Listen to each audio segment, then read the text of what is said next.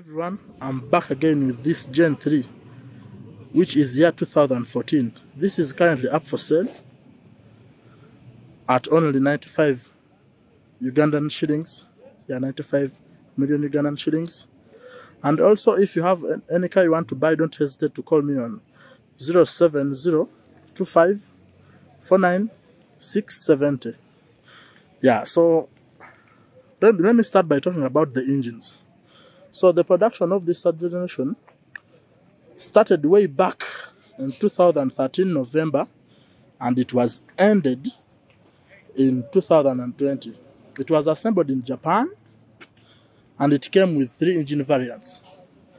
This is currently a 2.0 but uh, the engines that came with this car are the 3ZR FAE inline 4 with dual VVTi yeah and valvematic so as i take you around and i explain about these engines so the 3zr makes 190 149 horsepower.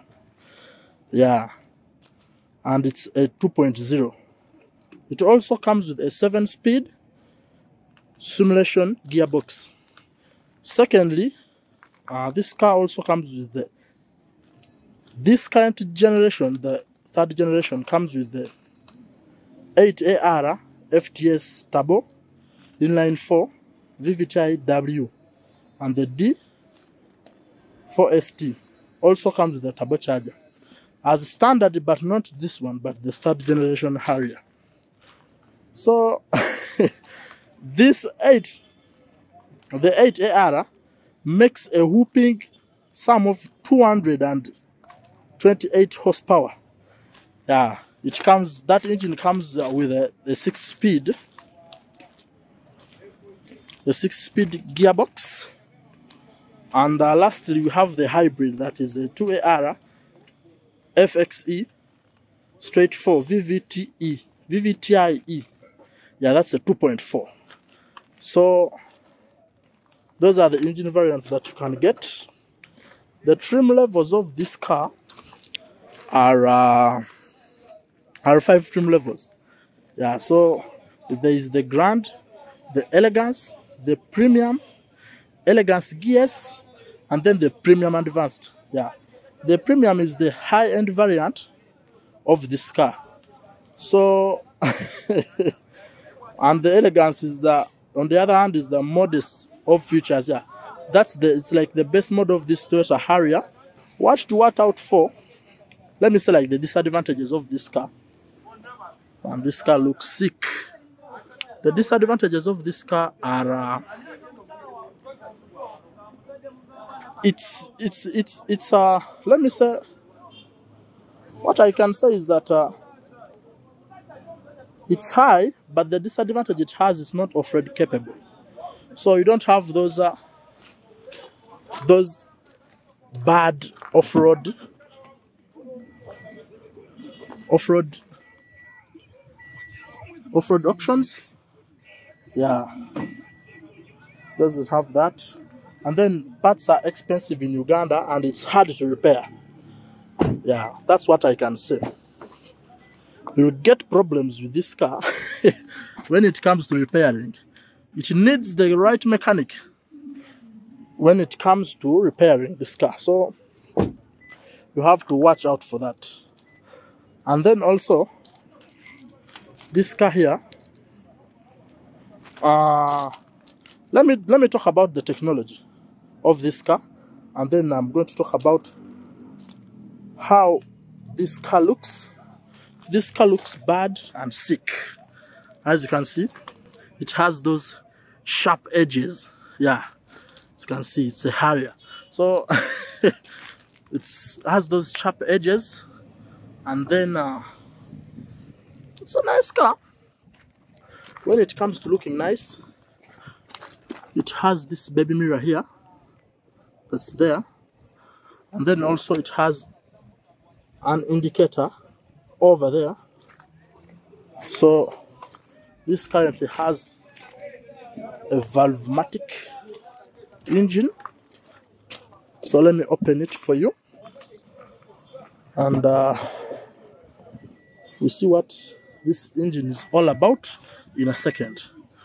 So, when it comes to technology, this car is bad. It's very, very bad. so, the chairs feel expensive, uh, they don't feel cheap at all. The hazard lights located over there, but I, there is a way this looks. It doesn't look like a button. It's it actually looks like glass. Yeah, this car feels so expensive, and it's worth that 95 million Ugandan shillings. And then you can switch the modes from here, as you can see. You can press it from here. You can control everything from here. The music can control it from here. And then those are AC controls. They are actually you just press them they are not actual buttons. See? And uh, this is your radio. It has an android radio. So it's good and it feels fast. It doesn't feel slow. So when you come over here those are the controls for the mirror and they are all automated. So this chair here is powered. It's electrically powered. And then uh, that's how it looks here. It has an airbag there an airbag there. And uh, let me go at the back here. It has lots of space. And then it has the vents at the back here. So move my jacket a bit. This can be moved here like this. See how that opens? So just close it back. Lots of boot space at the back. This can fold like that. And then you get plenty of space at the back there. So let me open it at the back here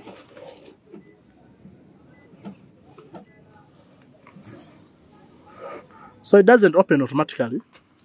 So that's the car how it looks there. Um uh, that's how it looks. It has never been involved in any accident. So it has a rear wiper. So let me start it up. That's the key. Yeah it's push to start. So one thing I like about this car is this. Just take a look how it how it how, how it turns on.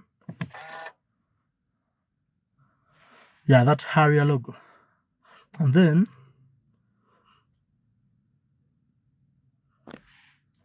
let me press the brake. It has started up. Yeah. I like how that looks. And uh you see the shifts well in gears. Yeah that's the D. That's the sport mode. Yeah that's gear one. See? This this is a bit modern so you can't shift into gears when it's just there. And then uh, the steering feels so small to me. So those are the wipers the wiper controls. And then those are the light controls there. So let me first uh, show you the engine in a minute. Open it from here like that. And then uh, you come over here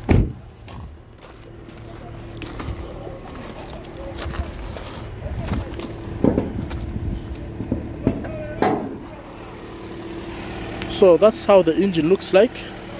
That's the Valvematic it's a 2.0 so that's how it sounds. And uh, please make sure that you like share and subscribe. That wraps up the video of today stay tuned for another one. I'll be bringing other cars very soon that are for sale. If you want any car, just contact me on that number down there. I'll be showing you other cars, other good cars. Shall meet until next time.